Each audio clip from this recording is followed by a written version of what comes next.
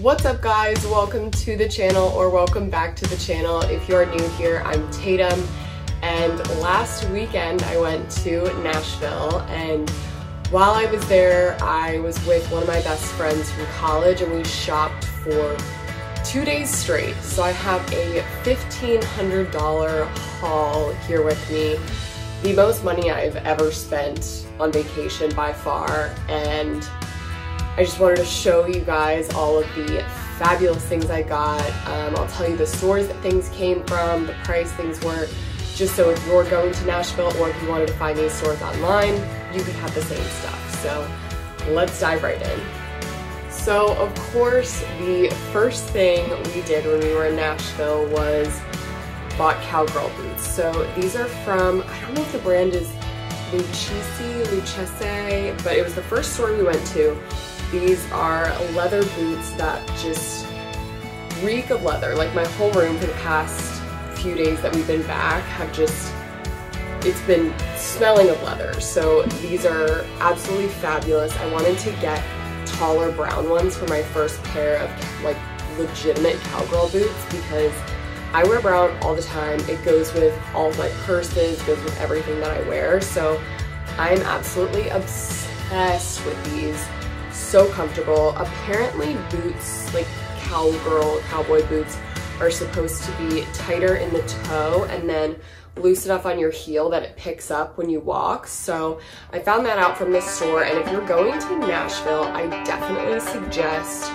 going to a legitimate store like this rather than getting boots on Broadway just because we actually, so we went to the store to buy these boots and then we were on Broadway later that night and found these exact boots in a store and they were $150 more. So these were $400 at the store and they were 550 on Broadway. So definitely feel like, I mean, $400 is not a deal, but definitely better than the markup on Broadway. So I'd suggest going straight to a store to get your boots rather than buying them on Broadway. Now, the next legitimate Nashville purchase was this hat. I think it is the most gorgeous, gorgeous hat. I put it on right now, but I have a clip in the back of my hair. But this is from the brand American Hat Makers, and I did get this on Broadway, so I'd say the best place to get a hat would be Broadway, unless you're looking for a more like stylish kind of I don't know, like different hat. If you're looking for something like that, I'd say the boutiques everywhere. There was this one navy hat that I was obsessed with, but I needed just a kind of classic hat, so I definitely suggest Broadway for that. This one was 110, but they were actually having a deal, so I got it for 30% off, and I wore it the entire weekend, and I can't wait. I have a ton of country concerts coming up, so I plan on wearing all of this stuff for those. So next up, we went to Uncommon James in the Gulch, and I got this gorgeous bracelet. It says Boss. I'll insert a picture if I have one. And I just think it's so dainty. Now, I normally wear silver jewelry. I'm not a huge gold jewelry person, but I was just so attracted to this. I thought it just made the cutest little statement, and you can also adjust the length of the bracelet yourself. Whereas all my other bracelets, I have to have someone put them on me, which is kind of annoying. So I absolutely loved this from Uncommon James. And then I also got an indoor outdoor blanket from there because we were going to the Dan and Shay concert at the Parthenon. It was the album release concert and I just thought it would be nicer to, since the seats were general admission, I figured it would be better to just have a blanket and kind of sit on the ground rather than be in the crowd. So this blanket was absolutely perfect. I'm a huge fan of it. I think it's really nice quality. It was 50 and then I think the Boss bracelet was around 50 as well. Um, so they had this one in a different shade as well. There was kind of like a brown one, but I liked this one better. Um, so those are my two purchases from Uncommon James. And I mean, I would have bought more, but I knew we had a ton of other stores to go to. Um, but if you're in Nashville, I definitely suggest going to Uncommon James. So my next purchases came from Kittenish. So I didn't know, but Kittenish is a boutique owned by Jessie James Decker. And I got this bag that says Totally Kittenish. And I got her perfume, Frisky. Now, I'm not a huge perfume person. I do have, my favorite perfume is Daisy by Marc Jacobs. And I feel like that's a super spring scent. I mean, I wear it all year round, but if I had to categorize it for season, I'd say spring. And this frisky scent, I would say this is an ultimate summer scent. I have never smelled anything like it. It's, I don't even know how to describe it. You'd need to smell it yourself, but it is just an absolutely gorgeous scent. So both Julie and I got it and this is gonna be my new go-to for summer. I just absolutely love it. I think it's such a unique smell never had anything like it and it's just absolutely gorgeous. The entire store, so Kittenish in Nashville is in the Gulch, which is where the same area that Uncommon James and my boots are from. So I'd say if you only have one day or maybe a few hours to go shopping, I'd say go to the Gulch. Just all of these adorable little boutiques, just totally fabulous. Kittenish, I did love they had a bunch of clothes and I tried on a dress and a romper. I'll insert some clips, but unfortunately they were both too short for me. I have longer legs, so things tend, they need to be longer for me. Um, so I was sad that they didn't fit, but if you're shorter than me, then you could buy everything in the entire store, but that was super fun. Next up in the same area is a boutique called Blush. So I got these denim joggers and I just thought they were so unique. Like I've never seen anything like these. And for being denim, they're really comfortable. They have kind of like the cinched bottom and the waist that you can tie yourself. And I'd say the boutiques in Nashville are a little overwhelming. When I walked in, they just have as opposed to like a classic store. So if you walk into Nordstrom, like there's a rack and it has the same piece of clothing in three different colors boutiques in Nashville, one rack could have 50 different items of clothing. And so for me, it was a little overwhelming, but I found these and I just fell in love, had to have them. So again, in the Gulch. And these were, I think these were 50. I think the perfume was 60 and I think the bag was like 10. Um, the taxes are actually pretty high in Nashville. I think it ends up being like 9% on everything, so it makes it all seem like a lot more expensive. Continuing on, I have this gorgeous suede jacket. It is a blank NYC jacket. I think it was about 120 um, and it's kind of tan, orange, pink, just the most fabulous colors. I believe it was from the store Rev in I want to say Hillsboro Village. Um, just absolutely fabulous. Like it feels so wonderful. Right after I bought that jacket, I bought this gorgeous bag, which is normally $600 and it was on sale for 150. I think it is just the most gorgeous, unique bag ever.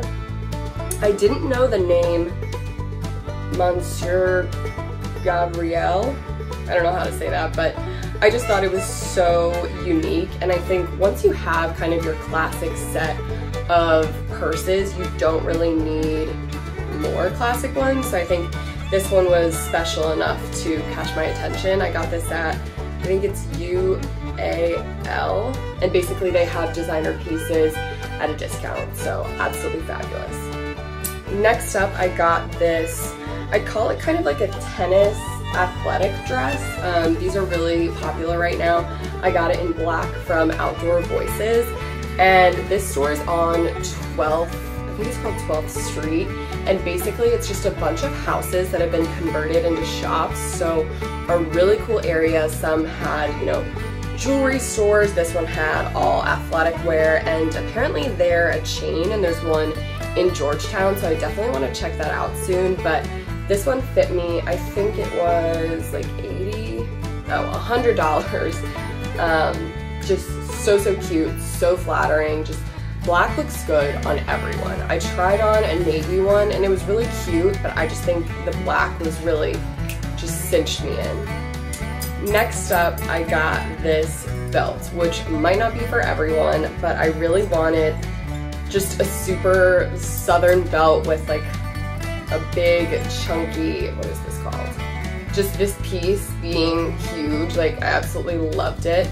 And I love all of the little star detailing. It was $100 at the Boot Barn on Broadway, but I had them put in some extra holes so that I could wear it around my waist, but also wear it as a classic belt. Um, so I'm absolutely obsessed with this. I think this is just so Nashville, so Southern, just everything I could have wanted.